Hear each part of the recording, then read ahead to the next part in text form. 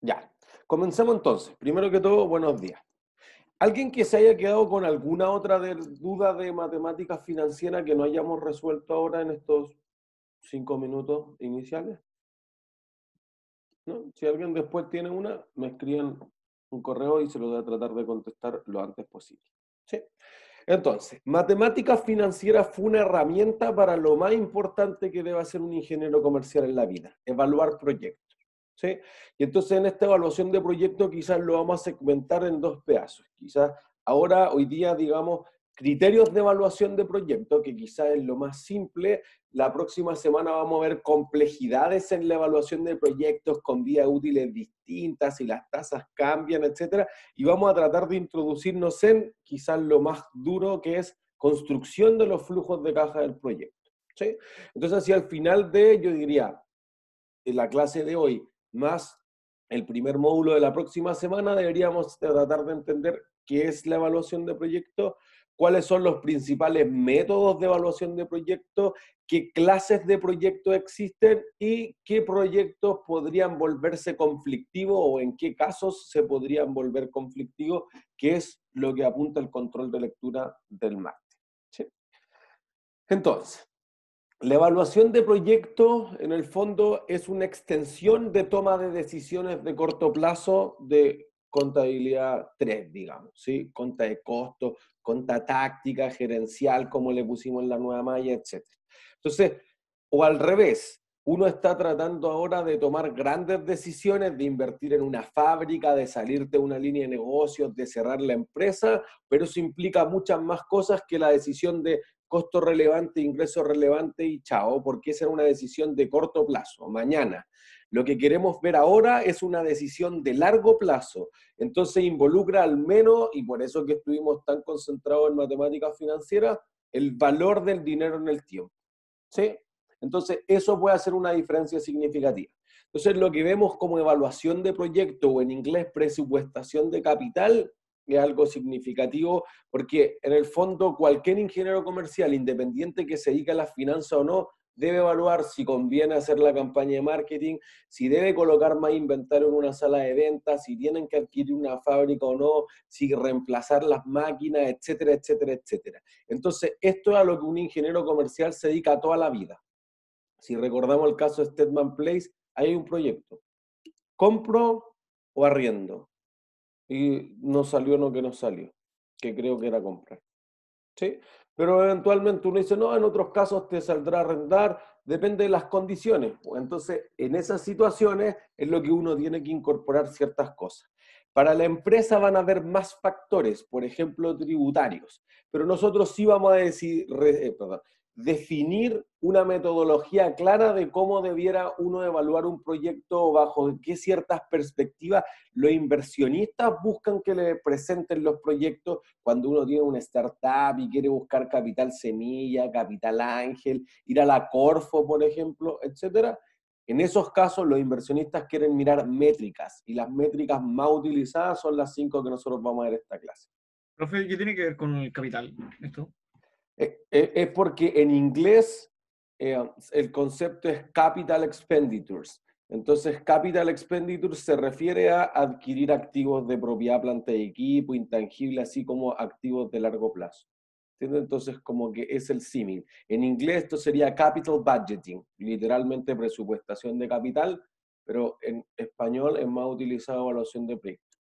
Son similares. ¿Se entiende? Porque al revés, si uno lo piensa como el balance de la empresa, el capital se refiere a la deuda más el patrimonio, no todos los pasivos, la deuda más el patrimonio. Y entonces, ¿en dónde voy a invertir la plata que me dio el banco o que me dio los accionistas? Bueno, en maquinaria, en fábrica, en un activo intangible, una licencia, una concesión, no tengo idea, en algún activo. A eso se refiere la presupuestación de capital. ¿De dónde saco el capital para hacer el proyecto? Es lo que vamos a ver hacia la última clase cuando veamos bonos y acciones. Y más que valorizar los bonos y las acciones, nos vamos a concentrar en cómo funcionan los mercados financieros de bonos y acciones para ir a buscar esa plata en la grande empresa. Entonces, Cuando uno está pensando en ampliar la fábrica, comprar un terreno, cambiarse de edificio, dar crédito a los clientes, cambiar el stock de inventario, etcétera, son las decisiones de largo plazo que nosotros estamos pensando. ¿sí? Para eso nosotros vamos a aplicar cinco criterios de evaluación. El VPN, la TIR, el payback, el payback descontado y el índice de rentabilidad. Cada uno de estos cinco criterios de evaluación de proyecto apunta a ciertas cosas distintas en la creación de valor o en la información de interés para los inversionistas.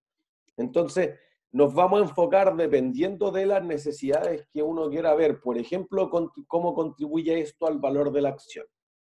¿Sí? Entonces, partamos por el valor presente neto. El VAN, valor actual neto, o VPN, valor presente neto, es cuánta riqueza monetaria crea un proyecto hoy. Entonces, por ejemplo, si nuestro proyecto fuese adquirir un edificio que vale 600 millones de pesos y puede generar flujos de 50 millones durante 40 años, entonces a una tasa de descuento apropiada del 8%, lo que uno tendría que decir es, mira, hoy invertí 600 millones desde el periodo 1 hasta el 40 me va a generar 50 millones anuales. Como es todos los años el mismo monto, aplico la fórmula de la anualidad durante 40 años y el valor presente neto me da menos 3.769.333. Entonces lo que tú dices es que toda esta parte de acá te va a dar 500 96 230 667. ¿Sí?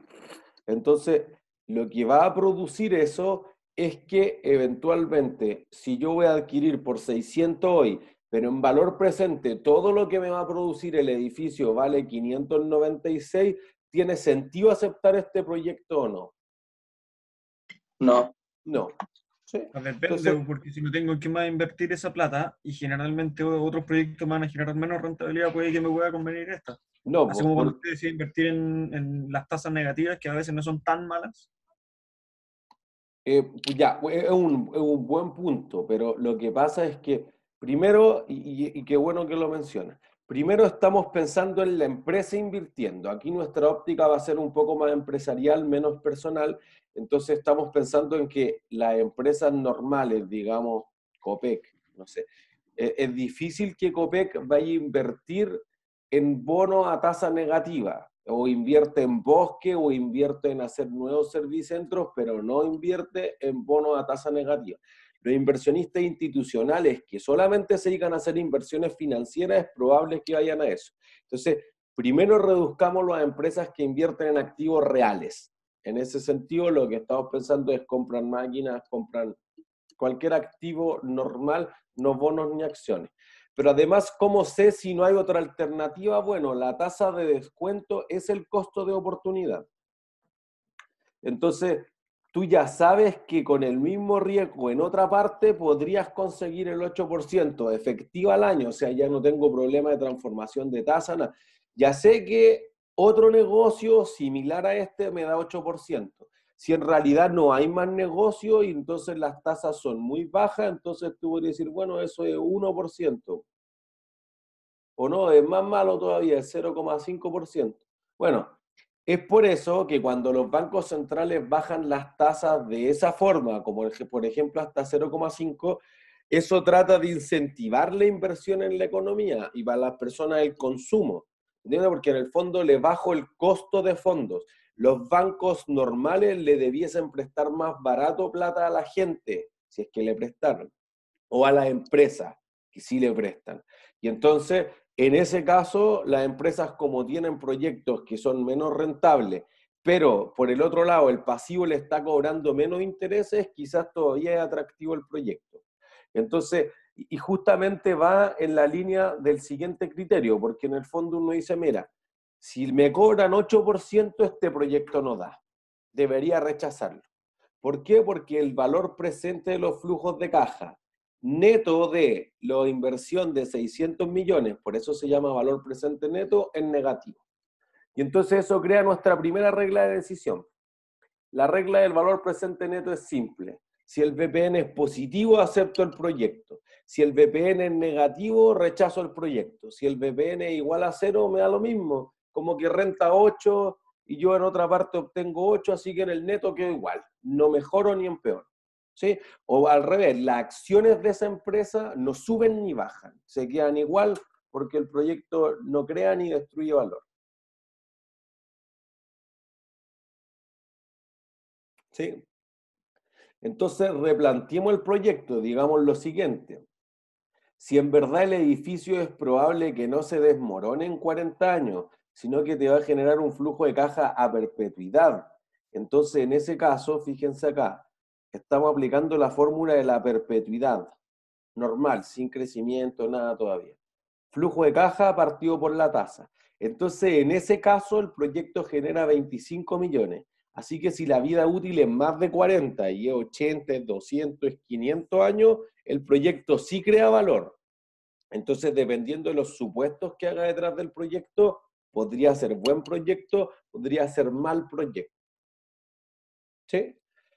Entonces, esta es la regla general, teórica, del libro, si quieren. Ahora vamos a la realidad. Si ustedes tienen un proyecto con VPN igual a cero, ¿lo aceptan o lo rechazan? Lo rechazamos. Lo rechazo. ¿Por qué? Porque puedo buscar un proyecto que me deje positivo. Depende, ¿no? Bueno, depende. Que eso es lo que uno siempre cree, ¿no? Pero es que la empresa tiene 8.000 proyectos. Sí, pero imagínense cuántos proyectos pueden ejecutar la empresa ahora. Depende de la situación de la empresa, entonces. Eh, por ahí podría ser. O hay veces nosotros después, ahora no vamos a mirar, pero después cuando hayamos análisis financiero vamos a decir, sí, listo, el proyecto se ve súper bueno, pero ahora no tengo de dónde sacar plata para financiar el proyecto. Entonces la empresa, por ejemplo, podría hacerlo en cinco años más, pero ahora está ilíquida, no tiene liquidez suficiente, no tiene efectivo, los bancos le han limitado sus líneas de crédito, etcétera, etcétera. Le es imposible conseguir el capital requerido para el proyecto. Esto no puedo hacerlo, ¿no? ¿Entiendes? Tiene un presupuesto, algo que vamos a discutir hacia el final de la clase. ¿sí? Entonces la empresa dice, mira, Podría, pero la realidad es que si yo tengo un proyecto que tiene valor presente neto cercano a cero, en torno a cero, digamos, es probable que lo acepte. Inclusive si este fuese negativo, porque mire, si es cero, quiere decir que la empresa dijo, mira, mi otra alternativa costaba 8% y esta me renta 8 y esta da igual a cero. Pero si yo no acepto este y salgo a buscar otro proyecto implica más esfuerzo. Entonces es bien probable que los gerentes en la realidad acepten los proyectos que tengan VPN igual a cero. ¿Por qué? Porque quedan igual, no quedan peor, pero no tienen que esforzarse en salir a crear nuevos negocios. Primera razón. Segundo, ¿ustedes quieren ser gerente de una empresa que vende 100 millones o una que vende 1000 millones? La más grande. ¿sí? En Finanzas 2, después en Finanzas Corporativas, vamos a hablar del atrincheramiento corporativo, la creación de un imperio. Los gerentes no quieren ser de, el gerente de la empresa 2 en el rubro, la 3, quieren ser de la 1. Entonces ellos dicen, mira, si no agrega ni disminuye valor, pero la empresa es más grande porque, digamos, sin proyecto tiene 100 millones en activo o 100 millones en venta y con proyecto tiene 1000 millones en activo o 1000 millones en venta, pero eso el valor para el accionista es igual, prefiero que tenga 1000. Total, ahora la empresa es más grande, entonces tengo que gestionar más cosas, las utilidades, los bonos, etcétera, debieran ser distintos. O por último, tiro más pinta nomás siendo gerente de una empresa más grande. Esa es la realidad. ¿Se entiende? en el rango del valor presente, e-, ese es un conflicto de agencia en el fondo, ¿sí? Entonces, inclusive eso podría pasar al rango de valor presente neto inferior a cero. Conflicto de agencia se refiere a que los dueños de la empresa son los accionistas, pero yo tengo 5.000 accionistas, 10.000 accionistas, no pueden ir todos los días a toda hora a la empresa. Entonces, los agentes o los accionistas delegan la responsabilidad los principales o los accionistas delegan la responsabilidad en los agentes, en el gerente. Entonces le dicen, mira, nosotros te contratamos a ti de CEO y tú tomas todas las decisiones, pero si lo haces mal, te echo. Esa es la realidad. Entonces el gerente intenta hacer lo mejor posible, pero nunca lo hace como si fuera accionista. Prefiere aumentar su sueldo que aumentar el patrimonio de los accionistas en algunas veces. Por ejemplo, si no corre el riesgo de que lo echen. Entonces, eso podría generar una distorsión o un conflicto de agencia. ¿Sí? Entonces, cuando tengo valor presente neto negativo, podría rechazar el proyecto en teoría, pero quizás lo acepto. ¿Sí? Por ejemplo, porque el valor presente neto cuantifica flujos de caja, pero tú podrías decir, mira, la Teletón, que acaba de pasar. ¿Quién fue el mayor donante de la Teletón? La Fundación Lusic. ¿Estamos seguros? ¿Ven? Bueno, pero simplifiquemos. ¿Cuál fue el supermercado que donó más plata? ¿El Jumbo? ¿Seguro? No. ¿Quién, quién puede haber sido si no? Auspiciador oficial de la Teletón. Unimark. Unimark. Pero ven que nadie se acordaba, pues entonces aunque haya donado 100 millones, 200 millones, 1000 millones, no le trajo ni una venta extra. ¿Se entiende? Entonces, si yo veo el proyecto donación, es malo, porque invertí 300 millones, claro, en una campaña de marketing que justamente ahora es altamente inútil. Si no, las principales marcas por eso lo hacen. Pero si no, BPN negativo por todos lados, pues nadie después de ir a eso dice, ah, no, yo voy a comprar un IMAR porque donó mal a Teletón. Voy al que tenga la fila más corta y listo.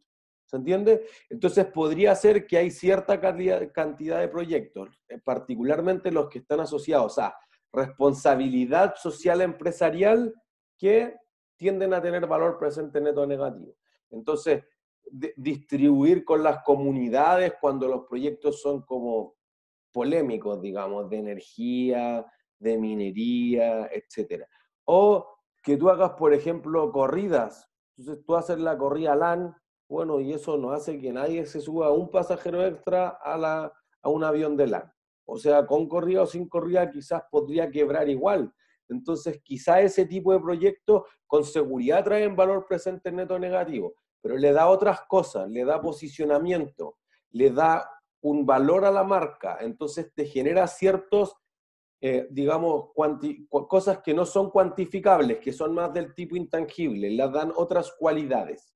¿sí?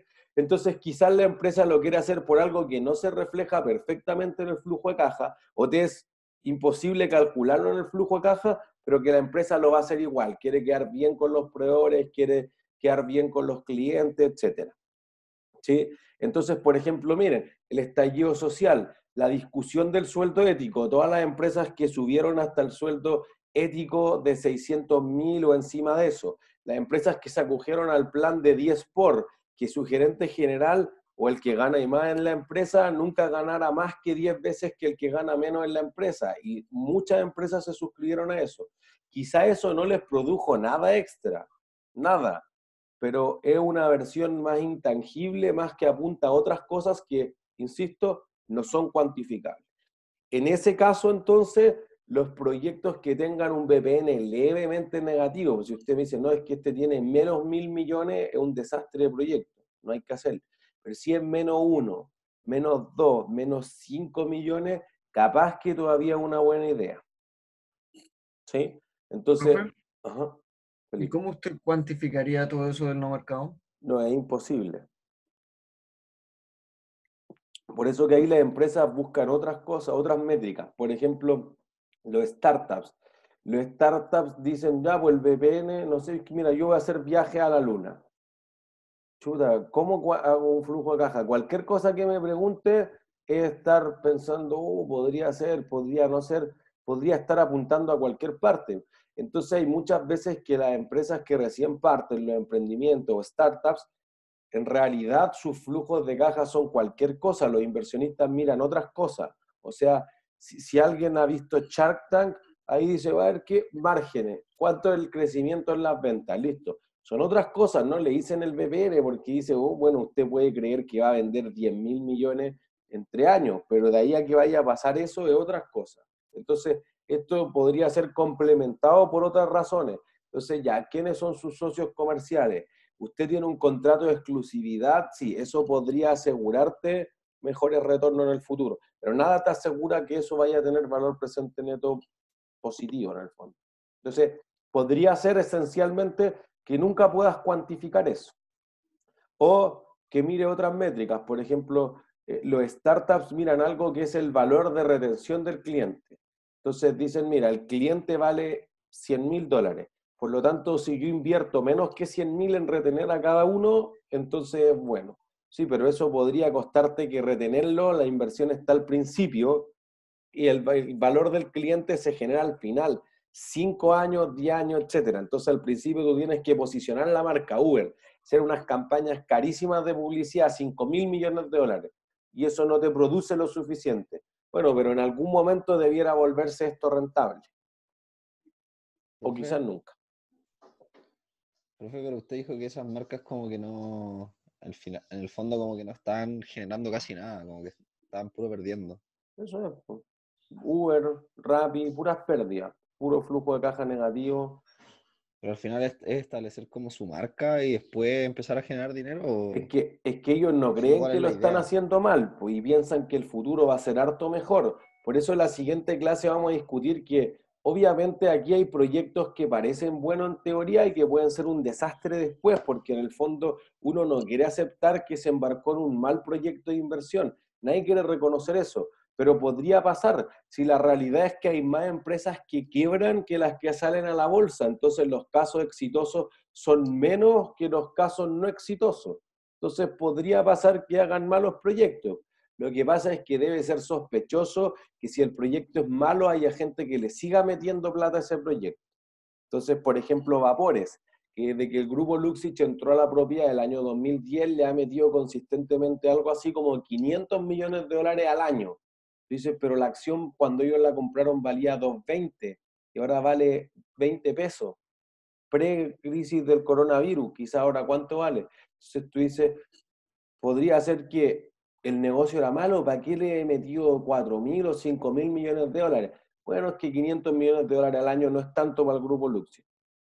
Es cierto, pero podrían embarcarse en súper buenos negocios, CCU, el Banco de Chile, y podría embarcarme también en malos negocios. Nadie es infalible aquí a que un proyecto que en principio parecía bueno, después en la gestión del proyecto se haya vuelto mal.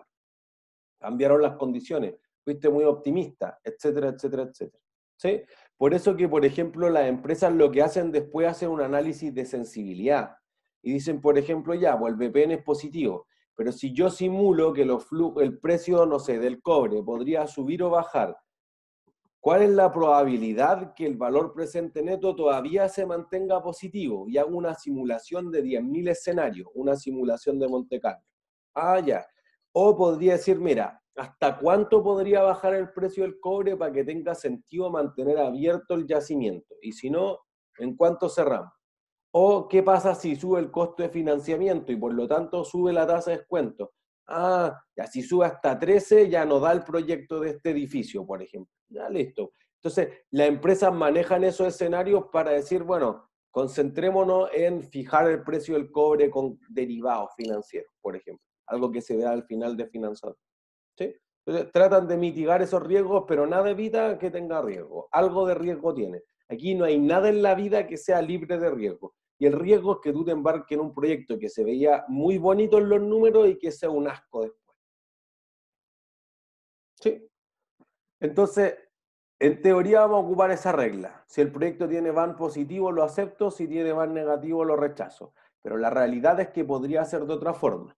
Nosotros además nos vamos a concentrar en los proyectos privados de inversión, es decir, la empresa acepta, la universidad piensa en cambiar el proyector, la universidad piensa en comprarle tabletas digitalizadoras a todos los profesores. La universidad contempla hacer el edificio H. Listo, ya. Ese es.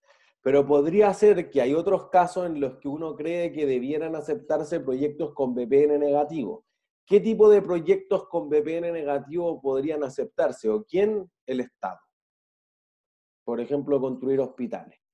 Construir camino en una ciudad rural que van a pasar tres pelagatos. Sí, pero es que si no tienen camino están totalmente desconectados. Bueno, entonces en esos casos quizás hay que hacer otro tipo de evaluación. Evaluación social de proyectos. No hay un precio privado, hay un precio social.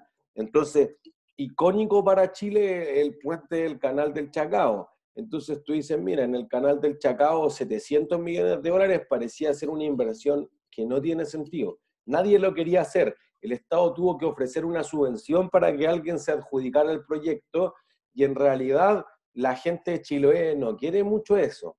Entonces, quizás nunca voy a recuperar esto, pero si alguien tiene una emergencia, digamos, de salud en Chiloé, tiene que ir a Puerto Montt, sí o sí. Entonces debe haber conexión. Entonces tú dices en términos de los peajes que voy a cobrar, no da. Pero el Estado podría ahorrarse plata en hospitales, podría ahorrarse costos de, no sé, contaminación, podría evitarse otros costos sociales que no le importan a la empresa, pero que sí le importan al Estado.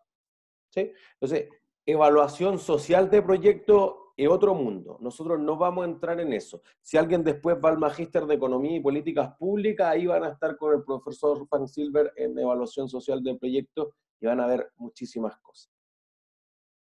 Sí. Entonces, si no es el VPN, el criterio más utilizado del mundo de evaluación de proyectos es la tasa interna de retorno.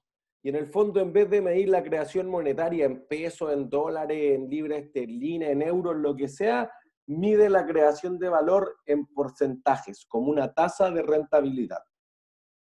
Entonces, la TIR, ¿qué representa? La rentabilidad promedio que tiene el negocio operacionalmente de los activos de, independiente de cómo se haya financiado el proyecto. ¿sí? Entonces, la rentabilidad efectiva anual o mensual o lo que sea que obtenga solo los activos del proyecto es la tasa interna de rentabilidad. ¿sí? Entonces, ¿cómo se calcula? Vamos a llegar a eso, ¿sí? Entonces, miren, hagámoslo de forma simple, primero con la perpetuidad. Entonces nosotros decimos, mira, invertiste 600, que es lo que estoy marcando con rojo, eso te genera 50 millones al año a perpetuidad y descontado a una tasa X te podría dar cero. Entonces, fíjense que matemáticamente estamos haciendo el cálculo del el valor presente neto igual a cero. Esa es la forma matemática de calcular la TIR.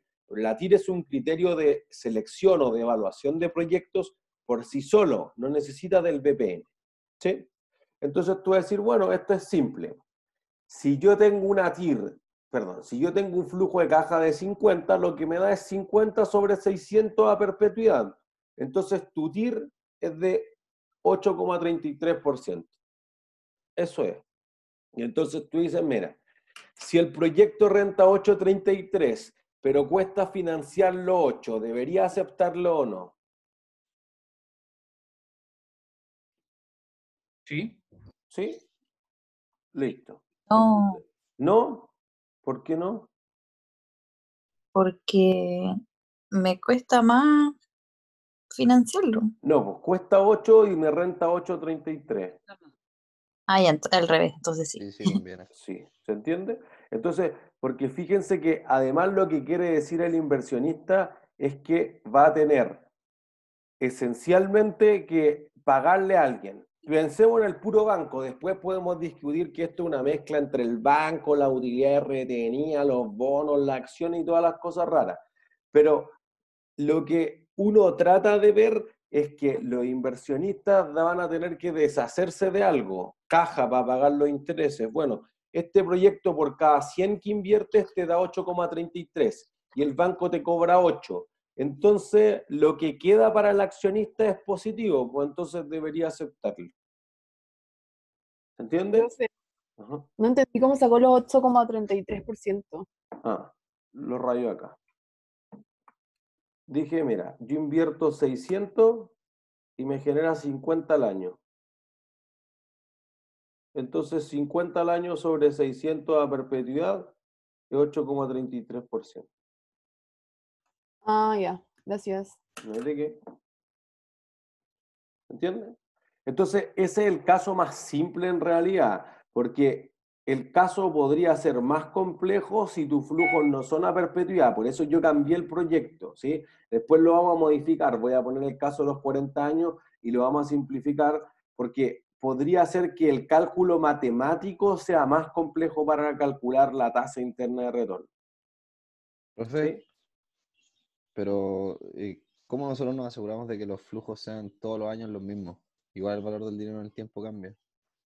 Em, sí, claro, pero no el flujo. Cambia la tasa, no cambia el flujo. Ah, ya, pero puede ser que sea menos rentable un año que otro. Sí, claro. O sea, aquí estamos suponiendo a perpetuidad.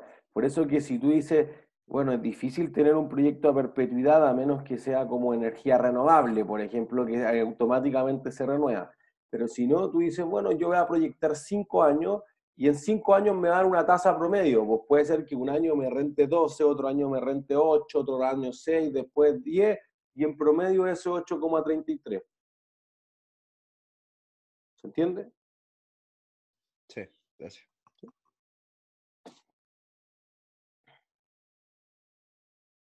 ¿Todos claros hasta ahí? ¿Dudas? ¿No?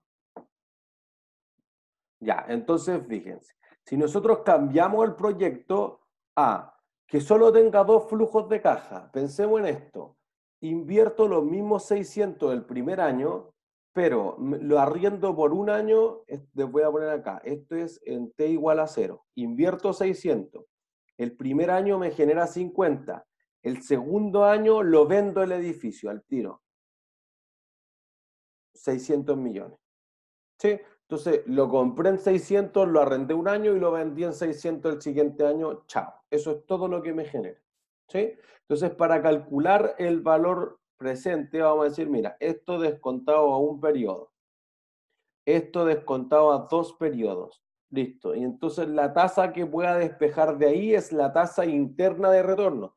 Fíjense que el concepto de interna que tiene que ver con el proyecto. El proyecto te va a generar esto independiente de las condiciones de mercado, a diferencia de la tasa de descuento que depende del mercado, porque creo que lo decía Felipe al principio, bueno, pero si yo podría conseguir otra cosa en otra parte, bueno, eso es el mercado. ¿Se entiende? Tu costo de oportunidad es obvio que tiene que venir del mercado, porque si no me compro un auto, el mercado de los taxis vale tanto. Listo, entonces tu evaluación es si voy a ahorrar más en taxi, entonces compro el auto. Si voy a ahorrar menos, entonces ando en taxi. Esa es la evaluación del proyecto, ¿se entiende? Entonces aquí el costo de capital, costo de oportunidad o tasa de descuento es, si tú vas a tener que ir a buscar la plata al banco, a los bonistas, a un leasing, a una empresa de capital privado con tus socios, ¿cuánta plata quieren? 10%, esa es tu tasa de descuento. Pero ellos, ¿por qué quieren 10%? Porque si ellos invirtieran en algo similar en otra parte, en condiciones de mercado, recibirían 10%. ¿Se entiende? Entonces, esa es la lógica de la tasa de descuento. Entonces... Pasa a ser una especie de costo de oportunidad también.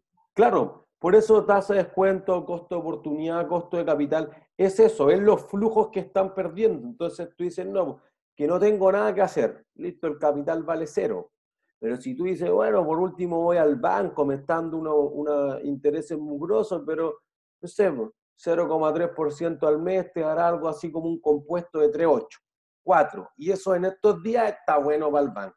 Está difícil. O sea, mire, cuando era, creo que del martes después de clase, una cliente a la consultora me estaba mostrando, mira, el BCI nos ofrece todas estas formas porque le llegaban 750 mil dólares que habían ganado de un concurso y lo iban a tener invertido mientras se lo iban gastando en pagar sueldo, en hacer la inversión, etc.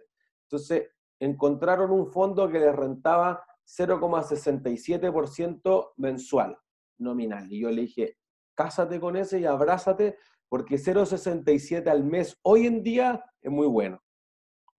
Yo después no le quise decir para embarrarle la onda, pero es probable que ella no obtenga esa rentabilidad de 0,67, porque eso era lo que había obtenido en promedio. ¿entiendes? Es lo que discutíamos el martes de los fondos de pensiones. Claro, han obtenido nominal algo así como 10%, porque era 7% real, más la inflación. pero que a futuro vayan a obtener eso es difícil, por no decir imposible. ¿Entiendes? Entonces, lo que produce eso es que el costo de oportunidad provenga del mercado, como tú dices, Felipe, y que el resto de, de, tus tu flujos de caja, la rentabilidad, ese tipo de cosas, provengan de la empresa. ¿Sí? Internos del proyecto. Esa es la lógica. ¿Sí? ¿Alguien que se haya perdido hasta ahí o avanzamos? ¿Todo claro? ¿Seguro? Si no, me detiene. Entonces, fíjense, ¿qué vamos a hacer acá? Multiplico la ecuación, que solo le puse dos flujos de caja para que mostremos como las situaciones fáciles de llevar a la matemática, digamos, en el papel, así tipo control. Entonces decimos, mira, voy a multiplicar a ambos lados por 1 más la tira al cuadrado. Entonces fíjense que este por 1 más la tira al cuadrado, el otro lo multiplico por 1 más la tira y como estaba dividiendo, entonces quedó solamente arriba y el otro por 1 más la tira al cuadrado, partido por 1 más la tira, te queda sin eso. ¿sí? Y al otro lado, como era 0, cualquier cosa por 0 te va a dar 0. ¿sí? ¿Qué es igual a 0? Ah, porque la, la, lógica es que si renta X cantidad, justamente no crea ni destruye valor. Entonces, matemáticamente es como si yo estuviera calculando el BPN igual a 0. fue una pregunta. Entonces sería como la mínima TIR que puede, o sea, que debería aceptar o que... No, e, es, es la TIR, esto es lo que renta. Ah, lo que renta, ya, ya. Claro, deberíamos pensarlo al revés. Es el máximo pago que puedo ofrecerle a los inversores. Y eso debe ser una mezcla probablemente entre los bancos, los bonistas y los accionistas. Ya. Entonces uno dice, mira, si renta 7 y me cuesta 9, rechazo. Si renta 7 y cuesta 6, acepto. Ese es más o menos tu criterio de evaluación. ¿Sí? Entonces, surge de plantear que el VPN sea igual a cero, pero insisto que no requiere del VPN para utilizarlo, es la noción del VPN. ¿sí? Entonces, fíjense en la ecuación que quedó abajo. ¿Qué tipo de ecuación es? ¿Valor futuro? No. Cuadrática. Cuadrática. Listo. ¿Cómo resuelvo la solución de eso? Buscando los puntos críticos. Ya, denme una ecuación. Yo tenía entendido que cuando B era- cuadrado. No era así. Casi. Menos B más 2.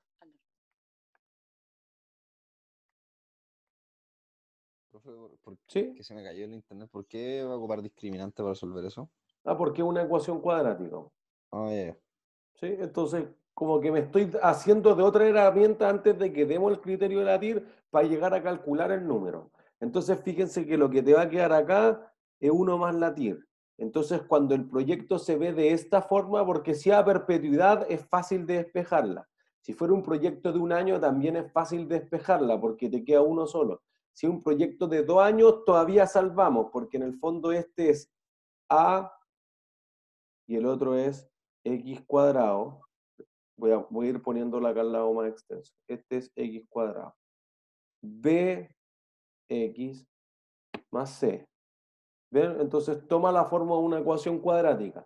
Entonces aquí están los discriminantes, los puntos, las soluciones factibles de esa ecuación cuadrática. Entonces aquí ya te crea algo. ¿Cuántas TIR podría tener ese proyecto? Dos. Dos. Dos. Podría tener, ojo, no es que todos los proyectos tengan dos. Entonces eso es lo que van a leer en el capítulo, que en realidad un proyecto tiene tantas o podría tener tantas TIR como cambios de signos tenga el proyecto. Entonces si tú tienes que invertiste 600, generó 200, después invertiste 300, después te generó 1000, capaz que tenga cuatro TIR. Y ahí ya va a ser más complejo. Simplifiquémoslo, tiene una TIR. ¿sí? Voy a resolver esa ecuación entonces en la siguiente lámina. Fíjense. En ese caso, apliqué la ecuación con el más, con el menos, te queda incoherente, porque es negativa, porque la raíz te queda negativa y no tiene solución, por cualquier cosa incoherente. En el caso coherente te da 4.25. Entonces tú tienes que tu alternativa te renta 8, que este proyecto te renta 4.25. ¿Lo hago o no lo hago? No, po. Eso es. No. ¿Entiendes? Entonces, Rechazo. Listo. Entonces, la lógica es. Perdón. ¿Alguien dijo algo? rechazo, profe? Rechazo. Yo sé que lo podían repetir, que me perdí un poco. Ah. Yo tengo un. Mi alternativa es rentar 8%. Entonces, si no hago este proyecto, seguro de que tengo 8%. Pero si hago este proyecto, me da solo 4,25. Entonces, como me da 4,25, prefiero 8 o 4,25. Si la respuesta es 8, entonces quiere decir que rechazo este proyecto. Ya, perfecto. ¿Sí? Entonces, regla general.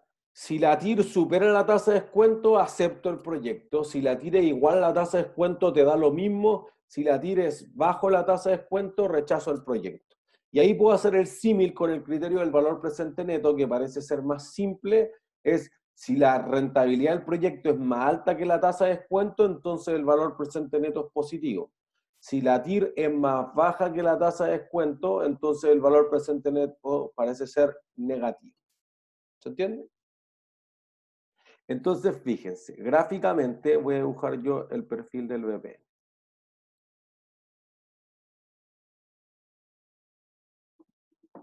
Ah, les compartí esto.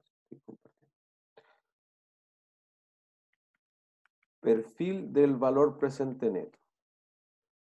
Entonces, este es el gráfico más simple del valor del dinero en el tiempo.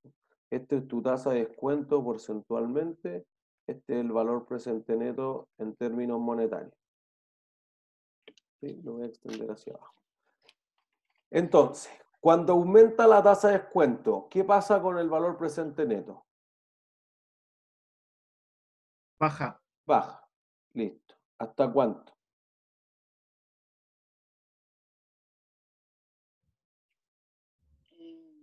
Depende de cuánto suba la tasa, ¿no? Ya, pues si sube hacia el infinito. A cero llegaría. No. A negativo. Negativo. Porque fíjense, Pongámoslo en términos del edificio nomás, para hacerlo simple. Invertí 600 y, el primer, y me da a perpetuidad flujos de 50, pero si la tasa de descuento es infinito por ciento, que por ejemplo Venezuela, los bonos de Venezuela, cuando dejaron de pagar en mayo del 2018, y ya casi dos años en default, pagaban una tasa de 96 mil por ciento. Compongan esos tres periodos y ya les queda algo así como infinito. ¿Sí? 95.700%, una cosa así, una cosa monstruosa. Entonces uno dice, bueno, si la tasa de descuento tiende infinito, quiere decir que un bolívar fuerte que te paguen en un año, ¿cuánto vale hoy en día? Si te paga un flujo de caja en un año más y la tasa de descuento es infinita, ¿cuánto vale hoy? Menos de cero. Cero. Cero. Eso es. Cero. Porque fíjense que cualquier cosa dividido por infinito te va a dar cero. Entonces tú vas a decir, tengo la inversión inicial de 600, pero todos los pagos de 50 millones valen cero. Entonces esto va a caer hasta un punto. Hasta la inversión inicial. Lo voy a poner acá. Inversión inicial. Que como es una salida de caja, está en el eje, está abajo en el eje en el fondo. ¿Sí? Y entonces fíjense que hay un momento en el que yo corto el eje, que ahí justamente es cero. ¿Qué punto es ese? Por un punto premio. Latir. Latir, listo. Un punto, Jorge. Gracias. Ese es el punto. ¿Se entiende? Entonces tú dices, en esa si el proyecto te cuesta, este es el costo de oportunidad o costo del capital lo mismo que renta, entonces yo entrego 8 y me pagan 8, ah, quedo igual, pues, chao, valor presente neto igual a cero. Entonces tu región de acepto va a ser esta parte de acá, ¿sí? Y tu región de rechazo va a ser acá. ¿Se entiende? Por cualquier razón, por la regla que acabamos de decir la TIR, si el proyecto renta más de lo que cuesta, entonces está en esta área. Si el proyecto cuesta menos de lo que cuesta más de lo que renta, perdón, estamos en esta área. ¿Listo? Esa es la lógica. Ajá. Ese punto siempre va a ser hablado en tasas, jamás en montos nominales. Em, ¿En qué estás pensando? Porque si me dicen que yo invierto 500 y después me van a devolver 500, eso no sería rentable porque pasaría tiempo y mi, dinero se desvalorizaría. Es que ahí tu TIR sería cero, pues entonces es probable que el, eje, ese, este, tu curva sería como una cosa así.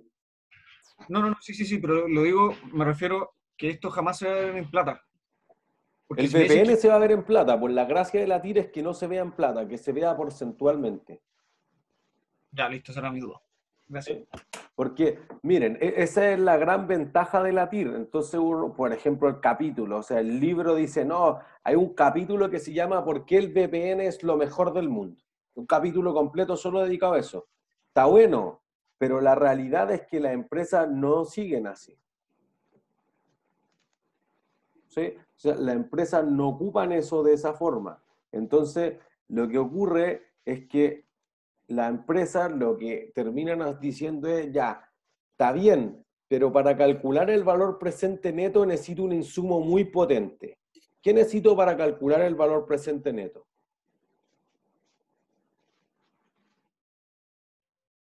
¿El monto? Necesito los flujos de caja, pero para, para actualizar los flujos de caja, ¿qué necesito? La tasa. La tasa.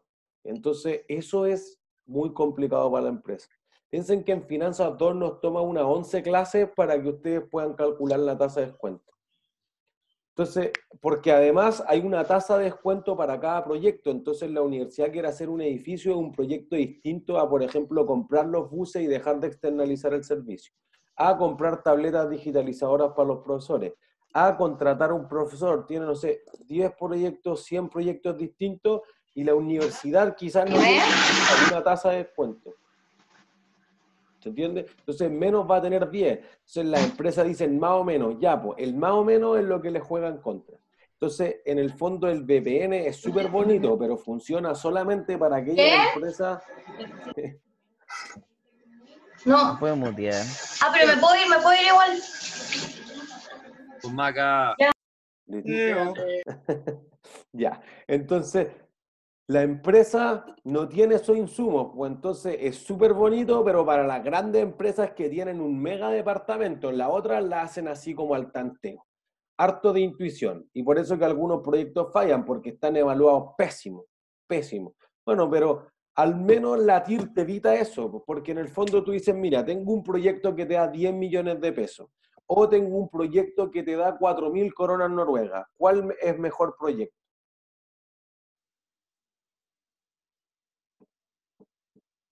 Ni idea, pues, porque no sé cuánto es el tipo de cambio. Habría que saber el tipo de cambio. Eso es. ¿Se entiende? Entonces tú dices, no, pues mira, tengo un proyecto que tiene una TIR de 12% y la otra tiene 10% de TIR. ¿Cuál es mejor? La de 12. que tiene más. Por eso que la TIR es el más utilizado en el mundo. Ojo, la TIR es así como utilizado por el 77% de las personas que evalúan proyectos en todas las divisiones del mundo. El VPN es utilizado por el 75%. Es muy marginal la diferencia, pero la TIR tiene esa ventaja porque tú le puedes decir a alguien, mira ya, ustedes son gerentes divisionales, le dicen, mira, la fábrica tiene que tener una rentabilidad de 10% al año porque nos costó 100 invertirlo. Fácil, pues invertimos 100, tuvimos 10% de rentabilidad objetivo, tenemos que hacer 10 millones como sea. Pero si yo hoy le digo, oye, tenemos que sacar VPN positivo, chuta, ¿qué es eso? No, no, no sé. Es que no, a ver, pero ¿cuál es la tasa de descuento? No, ya, ahí transmitir esa decisión va a ser un asco. Como indicador de desempeño es muy complejo transmitirlo, en especial a los mandos más bajos de la compañía. Entonces la TIR tiene esta versatilidad, en el fondo es un porcentaje, es, los porcentajes son iguales en todo el mundo. Entonces, bueno, si renta 10% en dólares o renta 15% en euros, ya tenemos otro problema, pero al menos el porcentaje es un porcentaje en cualquier parte. ¿Se entiende? Es fácil de transmitir la TIR, no como el BPN, que tengo que decirle, mira, es que los flujos de caja, descontado esta tasa, compuesta, no, ya no, chao. Chao, los trabajadores no entender eso. ¿Entiendes? Es difícil además de transmitir a los inversionistas. Entonces, por esa razón, la TIR es marginalmente más utilizado que el VPN, pero ambos son los criterios más utilizados en el mundo. ¿Profe? Eh, profe, tengo una pregunta. Eh, Joyce. Eh, me, quedó una, me quedó una duda en la curva roja que usted hizo, no la entendí. Curva roja. Que era sobre el gráfico, esa curva roja. Borrémosla. Era una pregunta de Felipe que quizás no contribuye a entender el fondo de. Era, ¿qué pasa si yo tengo un proyecto que invierto 100 y te devuelven 100? Renta cero. Bueno, es probable que el proyecto sea malo, en principio. Ojo, quizás, Felipe, no, no, lo pensé así, pero que, quizás si tú pensabas en las tasas negativas, como que rentar 0% podría ser bueno. Pero obviemos las tasas negativas un poco para simplificar la realidad. gracias. Felipe, ahora sí. Profe, yo tenía una pregunta con la última slide que puse, ¿a qué se refería con el perfil del VPN? Ah, lo que acabo de dibujar, pues cómo se perfila el VPN en la medida que va aumentando o disminuyendo la tasa de descuento. Ah, ya era el grafiquito entonces, ya. Gracias. Tal cual. Profe. Ah, Agustín. ¿El VPN toma en cuenta como los costos administrativos de la empresa llevar a cabo el proyecto, sí. costos agregados? Todo eso, las externalidades negativas, por ejemplo, que si tú sacas em, Coca-Cola Life, que hubo un tiempo, bueno, eso le quita mercado a Coca-Cola Light, que le quita mercado a Coca-Cola Cero y le quita mercado a Coca-Cola normal. Ahí tengo una externalidad negativa porque canibaliza esos productos. Todo eso debe ser incluido en el cálculo del flujo de caja del proyecto. Es lo que nos vamos a abocar la semana subsiguiente. Bacán, gracias. Sí si tu criterio no es cuánta plata agrega, sino, y no es cuánto renta, tu criterio podría ser de tiempo, o sea, no es monetario ni porcentual, es cuánto me demoro en recuperar la plata. Eso es el payback o el periodo de recuperación. Entonces te dice, mira, yo invertí 600 millones, esto me da 50 millones por año, entonces en 12 años recupero la plata. Ese es el cálculo del payback. No es nada más sofisticado que eso. ¿En cuánto me demoro en recuperar? 12 años, listo. Entonces, ¿12 años es mucho o es poco? Depende de la inversión que se haga. Eso es. Es mucho si tu proyecto es una impresora, porque una impresora no dura, no dura 12 años. Pues quizás es poco si tu proyecto es una central hidroeléctrica. Entonces aquí hay que matizar cuál es la vida útil del activo. Si yo voy a recuperar la plata en 12 años y el activo o el proyecto duran 5, un asco de proyecto. Pero si dura 40 o 50, capaz que tiene sentido. ¿Se entiende? Entonces, lo que hace aquí la empresa es generar una regla de decisión basada en un plazo de corte. Entonces, tú dices, mira, yo solamente acepto, por ejemplo, la Corfo dice tres años. Si el proyecto se recupera antes de tres años, le presto la plata. Si no, no. Chao. Y muchos de los inversionistas ángeles y los startups tienen eso, tienen un exit option que dicen, mira, yo en tres años saco toda mi plata, si la empresa no es autosustentable ahí, chao, se acabó. No se puede sostener, yo retiro toda la plata y se acabó. Entonces la empresa tiene que ser capaz en menos de tres años de devolver la plata. Entonces su criterio es más de en qué momento recupero la plata o tengo el payback. Es un criterio muy, muy, muy utilizado en los emprendimientos, muy utilizado en Japón por lo demás. ¿Se entiende? Porque tú dices, mira, porcentajes, pero tres años, ah, tres años es algo que entenderían todos. Entonces, hagan lo que sea necesario para recuperar la plata en tres años. Entonces, fíjense que puede ser fácil asimilarlo a otra alternativa. Si yo tengo que, que recuperar la plata en tres años, ¿cuánto necesito rentar por año?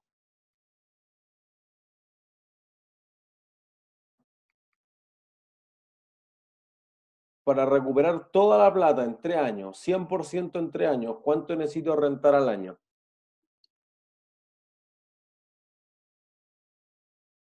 ¿33%? Más o menos. ¿Entiendes?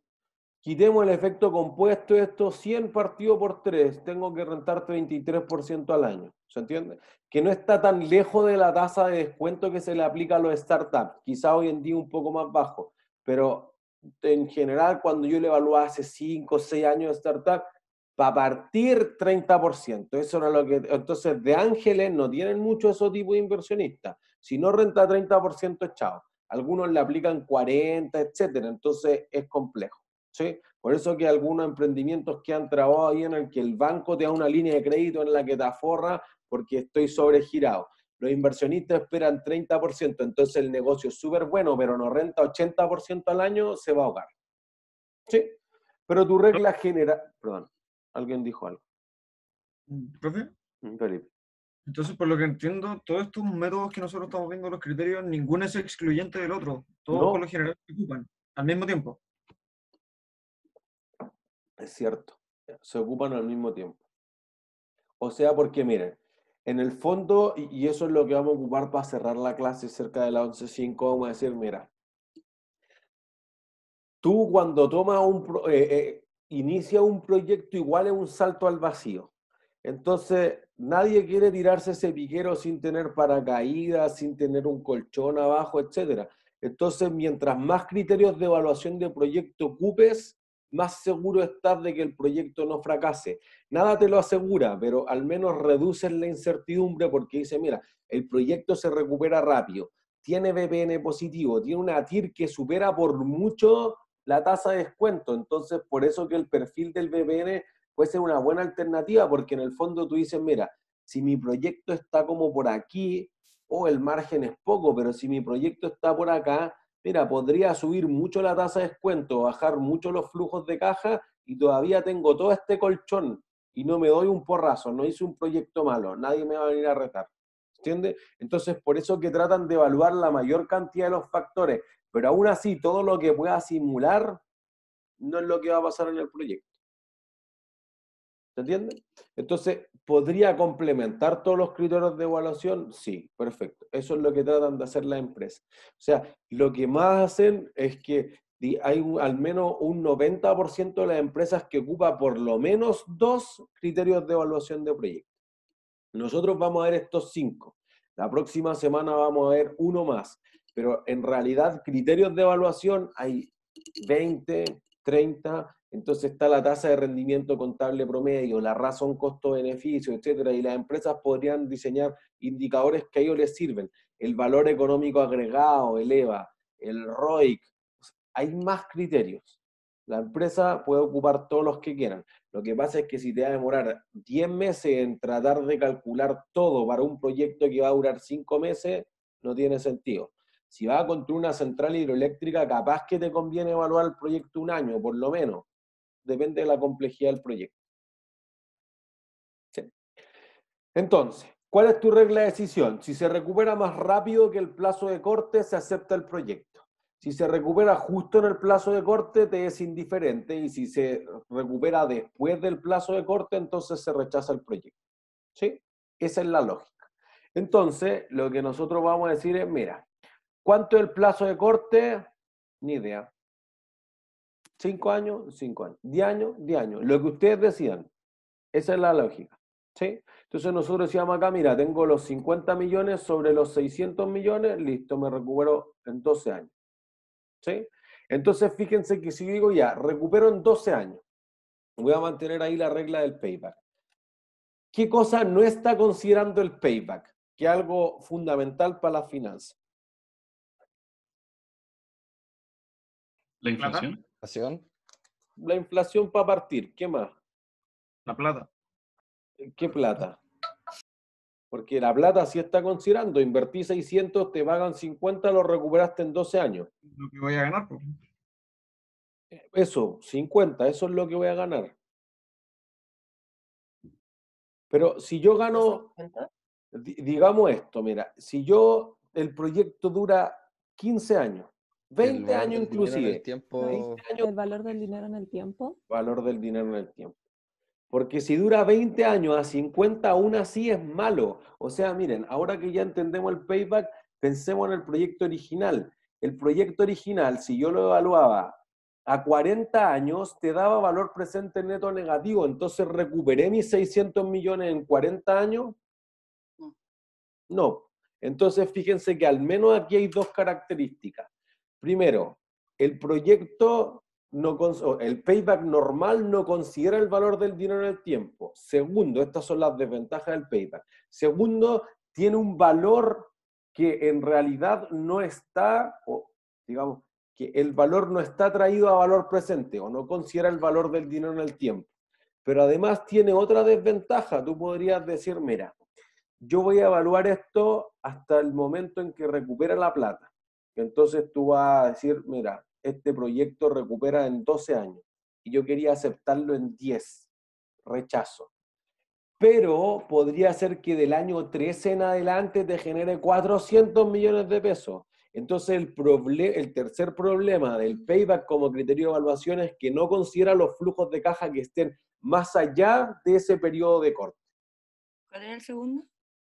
De nuevo, repito. El primero es que es subjetivo, no es objetivo porque el plazo de corte lo escoge cualquiera. El segundo es que no considera el valor del dinero en el tiempo. Y el tercero es que no considera los flujos de caja más allá del de periodo o el plazo de corte. ¿Sí? Tres razones. Entonces, podemos subsanar una fácil. Payback descontado. Listo. ¿Qué hace? Lo mismo que antes, pero traído a valor presente. No hay una fórmula para el payback. El BPN es la inversión inicial en negativo más el valor presente de los flujos de caja, listo. La TIR la ocupamos para despejarlo de algo que igualara el valor presente igual a cero. Pero el payback no tiene una regla porque tengo que ir probando. El año 1 recuperé, no, no recuperé. El año 2 recuperé, no, no recuperé. Y tengo que ir de esa forma. ¿Se entiende? Entonces, la única diferencia acá que podríamos decir, mira, tratemos de plantearlo originalmente.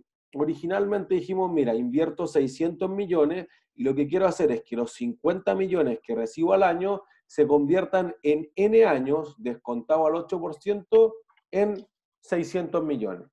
Entonces lo que tengo que calcular es cuántos años significa eso. Voy ahí, aplico logaritmo natural, etcétera, te da 42 años. Y es lógico, porque acabamos de volver atrás y dijimos, no, no recupera en 40 años, recupera en 42 o en 40 años era un mal proyecto, digamos. ¿Se entiende?